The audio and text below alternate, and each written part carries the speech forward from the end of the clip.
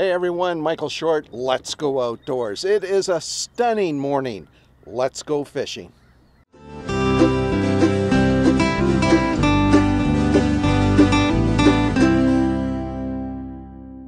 Hey everyone, coming to you uh, today from Lac La Biche, a lake that has had, well, shall we say, a colorful past. And a real pleasure to be joined by Lisa Roper, who has had a special relationship with this lake over the years. So we moved to Lac La Biche when I was about 12, and uh, we moved just off of the lake, one kind of one subdivision off the lake.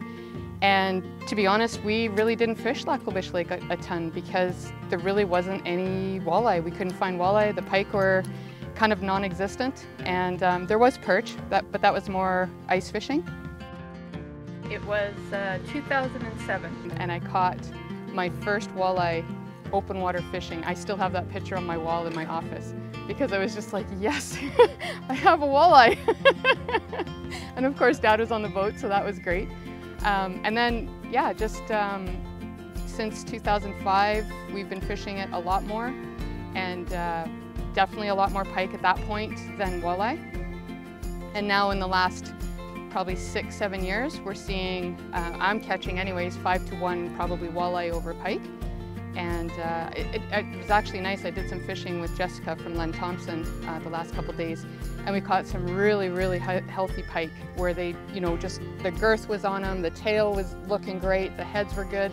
Um, where I found in the last couple years, the pike that we were catching were quite skinny and uh, bigger heads, almost the bellies like they had just spawned, and you know, just really, really um, a lot of extra skin there. So it was good to see the healthier pike right now. So one of the things that has contributed to the return of a healthier fishery here in Lac La Biche is the work that the Alberta Conservation Association, along with the Alberta Environment and Parks, has done over the years. Uh, walleye were essentially extirpated from overfishing uh, decades ago, like in the 50s and the 40s and even the 60s. And uh, pike were at very low abundance.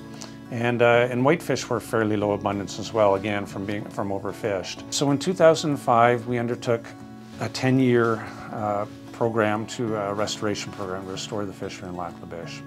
And as I indicated earlier, it was a multi-pronged uh, program and really had five or six uh, components to it. Uh, one was to um, you know, to look at and improve uh, the habitat on the Owl River, where walleye were the main spawning grounds for walleye and uh, the Alberta Conservation Association, we worked with them. They're, they're actually primarily doing some of that work for us, which is fantastic. Uh, we also had to reduce uh, the, the predation upon walleye that we intended to stock. So we wanted to reduce the cormorant numbers to you know, remove some of that predation pressure on them at that point in their life. And then the sort of the third point of predation as, as they become mature or about to mature, you know, in that kind of uh, 35 centimeter to, you know, 60 centimeter range. Uh, they're very vulnerable to, uh, to commercial nets, uh, commercial uh, gill nets, commercial fishing gill nets. So we stocked walleye intensively from 2006 to 2011 for six years. In that time, we stocked uh, 200 million fry, uh, and we stocked almost half a million fingerlings and we did do some adult transfers, a couple hundred fish, not, not a lot. It was something we tried, but we really realized that the, the uh, fry stocking was, was the most important. And so over six years, 200 million, that's a lot of fry, but we really felt we needed to saturate, not saturate, but really load a lot of uh, walleye, you know, young, small walleye uh, fry into the lake to overcome some of the predation pressure that they were experiencing. So we continue to monitor the fishery on a, at this point about a every other year rotation, and uh, so we uh, we do uh, some some index netting in the fall to understand the uh, you know the walleye uh, and pike population, as well as uh, we get an index of abundance of the prey species uh, to understand, you know, how they're uh, responding to, you know, changes in the ecosystem, but also to the management changes that we make.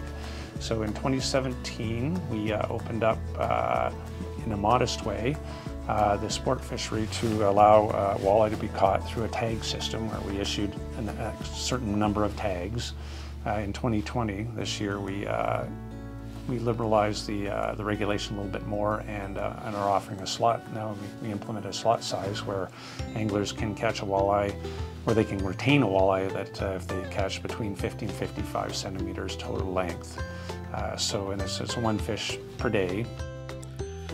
Taking an adaptive management approach over the years has resulted in turning over this once collapsed lake into a productive recreational fishery.